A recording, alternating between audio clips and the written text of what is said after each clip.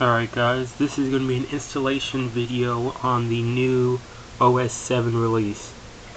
Um, so I'll show you right now that I do have this on my um, iPod Touch 4 and you do need, um, what is it called, Dreamboard. There's no longer uh, back backboard anymore. This is one of the themes that you get with backboard. Go ahead and click backboard show you that I have the um, Android one, my original one, and the um, OS 7 theme. Uh, but for some reason, I cannot seem to fix these these um, blank icon places, and whenever I try to pin um, one of those to the start menu, nothing happens. I tried rebooting and respringing, so if anybody knows how to fix that, um, just put it down in the comments, so we all know how to.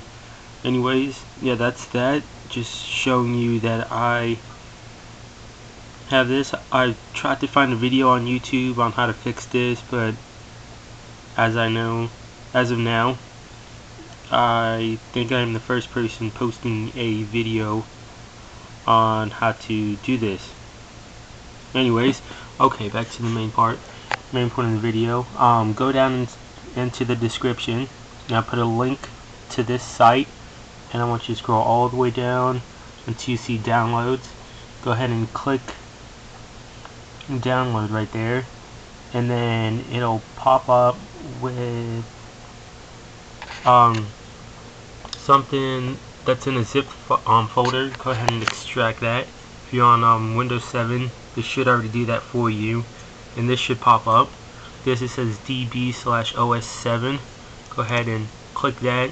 And then it'll have these three things. It has dreamboard um, dylib and library and um, install instructions.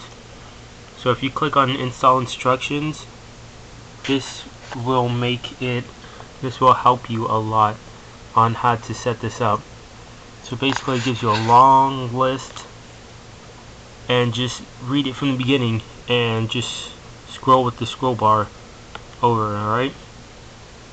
Um, so basically when it tells you let's see um okay copy the contents of the dreamboard folder to var slash mobile slash libraries um, slash dreamboard what that's telling you is to go to where um go to var slash mobile slash library slash um dreamboard.